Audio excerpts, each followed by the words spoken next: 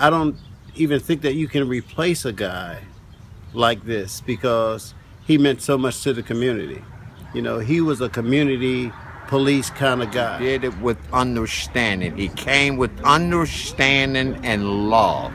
So, as tough as I think policing can be, I think because of his personality and the love that he radiated, you saw the love in him before you saw the uniform and the gun. He's genuine.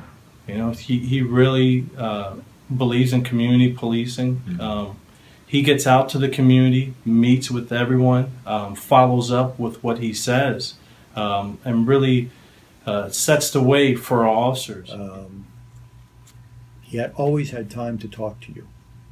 Even if he was late for a meeting, he still had time to talk to you. If you had questions uh, about something in the city, he or somebody under him got back to you with the answer.